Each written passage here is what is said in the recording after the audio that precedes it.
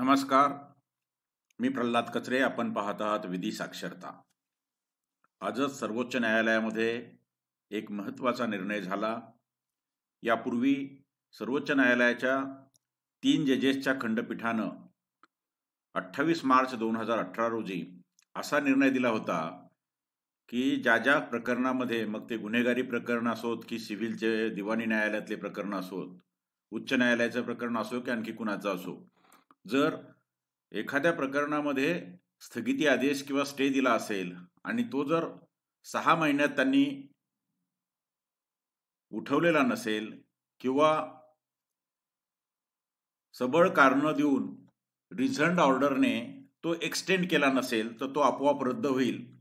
आणि पुढचे जे काही कामकाज आहे त्या केसचं ते त्या ट्रायल कोर्टाला ते कामकाज करता येईल. त्याविरुद्ध बऱ्याच चर्चा गेली पाच वर्ष चालू होत्या. पाच वर्ष म्हणजे आपण हा अठरा मार्च अठ्ठावीस मार्च दोन हजार अठराचा निर्णय होता. त्यानंतर पुण्यामध्ये एका ॲडिशनल चीफ ज्युडिशियल मॅजिस्ट्रेटनं जेव्हा सहा महिने संपलेत केस चालवा असं त्यांना त्यांचे पक्षकार विनंती करत होते तेव्हा त्यांनी सांगितलं की नाही हायकोर्टाचा स्टे आहे. जरी सहा महिने झाले असले तरी ते उठविण्यासाठी हायकोर्टाकडून आदेश होणं आवश्यक आहे. या आदेशाच्या ह्या चीफ ज्युडि हे ज्या चीफ ज्युडिशियल मॅजिस्ट्रेट होते त्यांच्या आदेशाच्या विरुद्ध एक मिसलिनियस ॲप्लिकेशन करण्यात आलं सुप्रीम कोर्टामध्ये. ते देखील तीन जजेसच्या खंडपीठानं चालवलं आणि त्यानंतर त्यामध्ये देखील आदेश आले. हेच ते जस्टिस नवीन सिन्हा जस्टिस रोहिंग्टन फल्ली नरिमन आणि जस्टिस के एम जोसेफ त्यांनी पुन्हा रिट्रेट केलं की जर सहा महिन्यामध्ये स्टे ऑर्डर उठली नाही किंवा स्टे उठवण्यात आला नाही किंवा तो स्पीकिंग ऑर्डरने एक्सटेंड करण्यात आला नाही तर तो आपोआप लॅप्स झाला तो रद्द झाला असं समजण्यात यावं आणि त्या कोर्टाच्या हातात जी केस असेल त्या कोर्टातल्या केसेसचं पुर पुढचं जे काम आहे ते कायद्याप्रमाणे त्यांनी केलं पाहिजे. जर केलं नाही तर मात्र हा देशाचा कायदा असल्यामुळे कारण सुप्रीम कोर्टाने दिलेला हा निर्णय म्हणजे देशाचा कायदा आहे मग त्यांच्या विरुद्ध कारवाई होऊ शकतील. खरोखर त्यानंतर अनेक जजेसच्या विरुद्ध कंटेम्पच्या इनिशिएशन झालं असं सॉलिसिटर जनरलनं असता सुप्रीम कोर्टात सांगितलं. आता हे झालं एक प्रकरण. याच्यानंतर पुन्हा त्या मिसलिनियस ॲप्लिकेशनची सुनावणी झाली.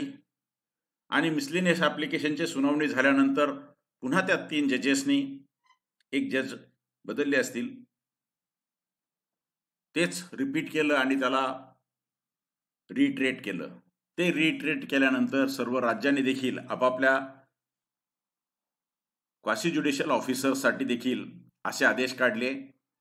महाराष्ट्र राज्यामध्ये देखील महसूल आणि वन विभागाने सहा मे दोन हजार एकवीस रोजी या सर्वोच्च न्यायालयाच्या आदेशाचा उल्लेख करून म्हणजे पहिला आदेश होता अठ्ठावीस मार्च दोन हजार अठराचा.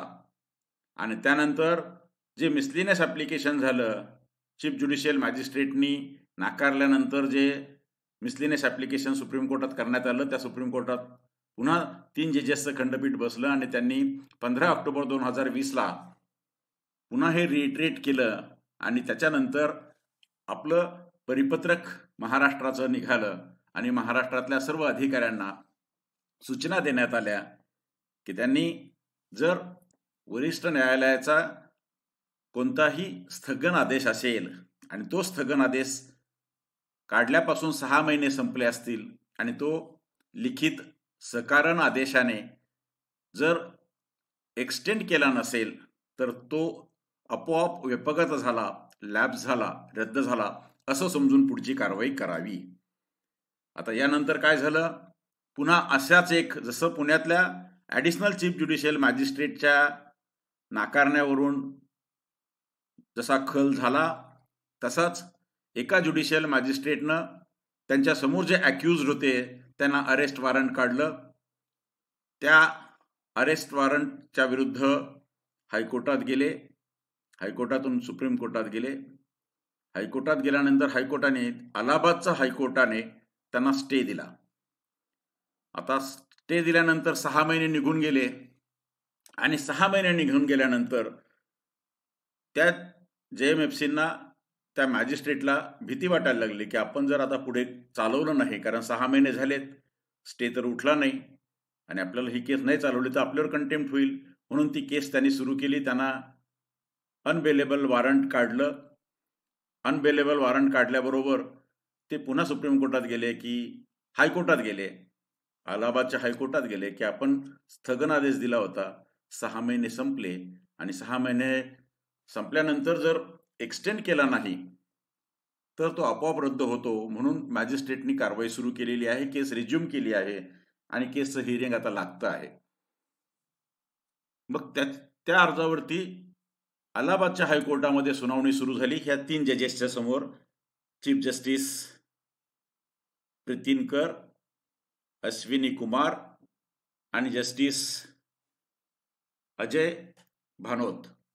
या तीन जजेसच्या समोर जेव्हा सुरू झालं तेव्हा त्या अॅक्यूजच्या वकिलांच्या बरोबर इतरही वकील सामील झाले. नव्हे अलाहाबाद हायकोर्टाचा बार असोसिएशन देखील तिथे सामील झालं. आणि त्यांनी सांगितलं की नाही असं जर प्रत्येक केसमध्ये व्हायला लागलं तर त्याच्यामध्ये अडचणी निर्माण होतील. आणि हायकोर्टाने जो आदेश दिला तो आर्टिकल घटनेच्या आर्टिकल दोनशे सव्वीस प्रमाणे असणारे जे काही एक्स्ट्रा ऑर्डिनरी पॉवर्स आहेत त्याचा वापर करून दिला.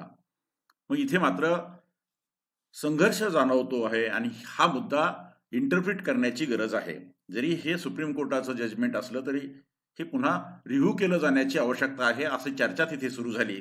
आणि म्हणून Chandrapal Singh versus state of UP and another या केसमध्ये fixation of time limit by courts to conclude criminal judicial proceedings whether त्या केसचं नाव जे आहे ज्याच्यात सहा महिन्याच्या स्टेचा उल्लेख होता तीन जजेसची केस होती सुप्रीम कोर्टाची वेदर द आसियन सरफेसिंग त्या त्या केसचं नाव होतं Asian surfacing runs contrary to the law laid down मग यांनी काढलं A R Antulay and P Ramachandra Rao ह्या सुप्रीम कोर्टाच्या यापूर्वी झालेल्या ज्या दोन केसेस आहेत त्याच्यात जो रेशो आहे त्याच्या हे अगेन्स्ट आहे का? असा मुद्दा काढला गेला. त्याच्यावरती बराच खल झाला. सर्वांचे आर्ग्युमेंट झाले. बार कौन्सिल तिथे अपिअर झालं. आणि शेवटी सुप्रीम कोर्टाने हायकोर्ट अलाहाबादच्या हायकोर्टाने या सगळ्याचं कौतुक करून यांचे अर्ज तर नाकारलेत. पण या मुद्द्याची पुनर्तपासणी झाली पाहिजे यासाठी तुम्ही अपील करा. पाहिजे ते सर्टिफिकेट आम्ही देतो. असं त्यांनी सांगितलं त्यांनी सर्टिफिकेट दिलं. आणि हायकोर्ट ऑफ अलाहाबाद जे बार असोसिएशन आहे त्यांनी सुप्रीम कोर्टामध्ये धाव घेतली. सुप्रीम कोर्टामध्ये bar association high court bar association Allahabad versus state of Uttar Pradesh नावाची ही criminal appeal number three five eight nine oblique two thousand twenty three एक ऑगस्टला नोव्हेंबरमध्ये हा डिसिजन झाला अलाहाबाद हायकोर्टाचा. आणि एक डिसेंबरला हे दाखल झालं सुप्रीम कोर्टामध्ये. सुप्रीम कोर्टामध्ये जेव्हा दाखल झालं तेव्हा तीन जजेसच्या बेंचच्या पुढे दाखल झालं. Chief justice D Y Chandrachud justice J B Pardiwala and justice Manoj Mishra. पण ते म्हटले की यापूर्वीचे जो निकाल आहे तो निकाल देखील अठ्ठावीस मार्च दोन हजार अठराचा निकाल तीन जजेसनेच दिलेला आहे. तर तीन जजेसचा निकाल तीन जजेसने पुनर्तपासणी करणं हे काही फारसं योग्य नाही. आणि या केसमध्ये घटनेचा आणि याचा एकशे एक्केचाळीस आर्टिकल एकशे एक्केचाळीस आर्टिकल एकशे बेचाळीस आणि आर्टिकल टू टू सिक्स अशा तीन आर्टिकलचा उल्लेख झालेला आहे. आणि त्याचा अर्थ लावण्याचा प्रश्न आहे म्हणजे हा मेजर इश्यू आहे तेव्हा तो लार्जर बेंचकडे गेला पाहिजे. म्हणून referred the matter to a larger bench for reconsideration हे एक डिसेंबर दोन हजार तेवीसला झालं. आणि शेवटी त्याच्यात दोन डिसेंबर दोन हजार तेरा तेवीसलाच एका पाच जजेसच्या खंडपीठाची स्थापना करण्यात आली सुप्रीम कोर्टामध्ये. त्यामध्ये आहेत justice Pankaj Mithal justice Abhay Oka chief justice of India D Y Chandrachud justice J B Pardiwala आणि जस्टिस मनोज मिश्रा. या खंडपीठाची नियुक्ती झाली. त्या खंडपीठाकडे हे मॅटर वर्ग करण्यात आलं. खंडपीठानं त्याची सुनावणी घेतली. तेरा डिसेंबरला सुनावणी घेऊन मॅटर रिझर्व करण्यात आलं जजमेंटसाठी आणि त्याची सुनावणी होत असताना त्यांनी असं म्हटलं होतं we are of the opinion we are of the view that principle which has been laid down in the about decision to the effect that stay shall be automatically stand cancelled, which would mean an automatic vacation of stay without application of judicial mind to whether the stay should or should not be extended further is liable to result in miscarriage of justice आणि त्यामुळे न्यायाची वाताहत होईल असं त्यांना वाटलं त्याने ते व्यक्तही केलं पण जजमेंट त्यांनी राखून ठेवलं. त्यानंतर त्या जजमेंटमध्ये किंवा त्यांच्या आर्ग्युमेंट्समध्ये तिथे जेव्हा याच्यावरती खूप खल झाला दोन्ही बाजूनी शासनाच्या बाजूनी जे म्हणणं मांडलं गेलं त्यात दोन तीन क्रिटिकल इश्यूज आले होते. त्यात पहिला होता की जे मेकॅनिझम आहे स्टे देण्याचं ज्युडिशियल अप्रोचचं त्याचा या ठिकाणी विचार होत नाही आणि त्याच्यावर ॲडव्हर्स इम्पॅक्ट होण्याची शक्यता आहे. आणि दुसरं होतं की यामुळं लिटिगंटना त्रास होण्याची शक्यता आहे.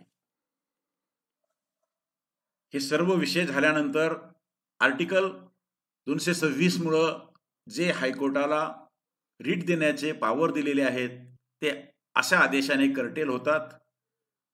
आणि सॉलिसिटर जनरलनं तर असं म्हटलं stress the need for courts to maintain their discretion in deciding the duration of stay orders, highlighting the instances where automatic vacation of directives had led to contempt of cases, contempt of court cases against judges for not resuming trial.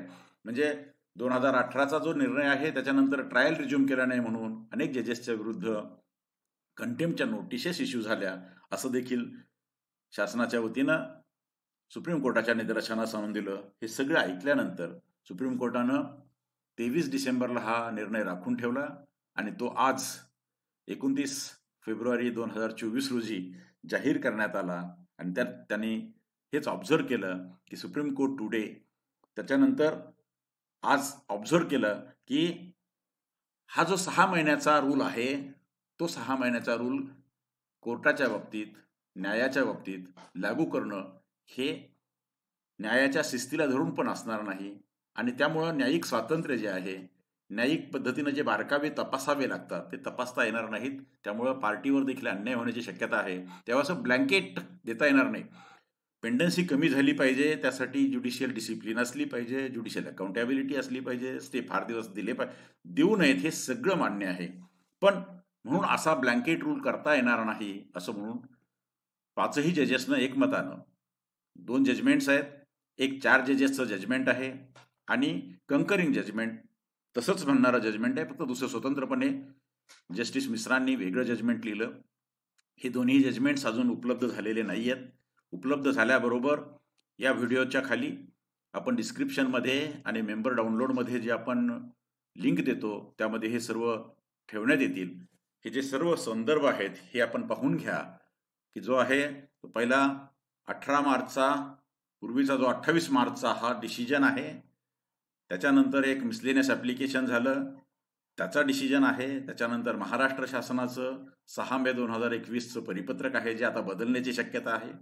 त्यानंतर अलाहाबाद हायकोर्टाची केस आहे आणि शेवटी आहे ती आज म्हणजे अठ्ठा एकोणतीस फेब्रुवारीला जो निर्णय झाला हे सर्व एका फोल्डरमध्ये ठेवून आपल्याला हे उपलब्ध करून देऊ.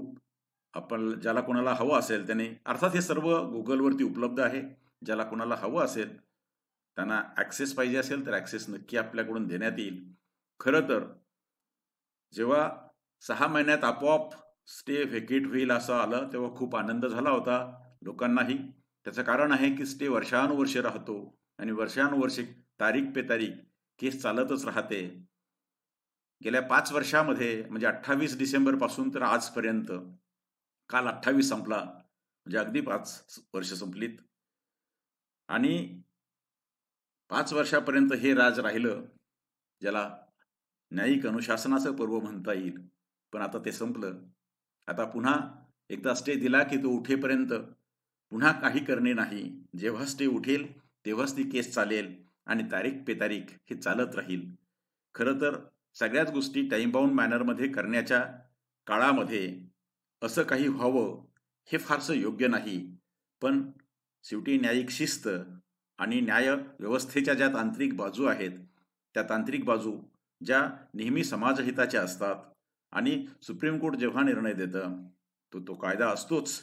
पण खूप बारकावे तपासल्यानंतर तो निर्णय होतो. त्यामुळं यात ज्या अर्थी हे करणं योग्य नाही असं सुप्रीम कोर्टाने म्हटलं तर ते बरोबरच असणार आहे. आणि त्यामुळं अधिक तपशिलासाठी आता ते जजमेंट आपण वाचून पाहूया. जजमेंट वाचल्यानंतर आणखी तपशील खुले होतील क्लिअर होतील आणि ते तपशिलात करता येतील. यापूर्वी आपण एकोणसाठ नंबरचा व्हिडिओ केला होता जो सहा महिन्याच्या स्थगितीच्या संदर्भातला होता. त्याच्याखाली आपण सर्क्युलर वगैरे सर्व दिलं होतं. हे पहिले तीन संदर्भ आहेत हे सर्व दिले होते. आता मला वाटतं त्याची फारशी आवश्यकता नाही. जेव्हा हे जजमेंट अपलोड होईल हाती येईल तेव्हा तो व्हिडिओ आपण डिलीट करू. त्याचं कारण आहे की तो व्हिडिओ ठेवण्यात तसा आता अर्थ राहिला नाही. त्यामुळे आणखी लोकांची फसगत किंवा म्हणजे एकदा हे ऐकणार एकदा ते ऐकणार गोंधळ होण्याची शक्यता नाकारता येत नाही. म्हणून आता हे सर्व संदर्भ आपण संद याच्यामध्ये एका फोल्डरमध्ये आणखी एक फोल्डर करू की जे संदर्भ आता फारसे उपयोगाचे नाही आहेत. आणि नवीन जे जजमेंट आजच्या तारखेचं आहे एकोणतीस फेब्रुवारी दोन हजार चोवीस ते सर्वांनी वाचलं पाहिजे असा याचा अर्थ आहे. असा साधारण आज एक अत्यंत महत्त्वाची न्यायिक क्षेत्रातली ही एक घडामोड आहे ती आपल्यापर्यंत पोचवावी म्हणून जसा निर्णय झाला तसं त्याचं वाचन निरनिळ्या समाज माध्यमातून आणि निरनिळ्या माध्यमातून आलेल्या वार्तांकनावरून आजचा हा व्हिडिओ केला आहे. जर का तो आपल्याला आवडला असेल आपण नक्की लाईक करा. जर आपण प्रथमच पाहत असाल यापूर्वी व्हिडिओला कधी भेट दिली नसेल किंवा सबस्क्राईबही केलं नसेल तर नक्की सबस्क्राईब करा. आपल्या मित्रपरिचितांना पाठवा त्यांनाही लाईक करायला सांगा. त्यांनीही सबस्क्राईब केलं नसेल तर नक्की सबस्क्राईब करायला सांगा. असेच माहितीपूर्ण व्हिडिओ आपल्याला मिळत राहतील. पुढच्या माहितीपूर्ण व्हिडिओमध्ये लवकरच भेटण्यासाठी मी या ठिकाणी थांबतो. धन्यवाद.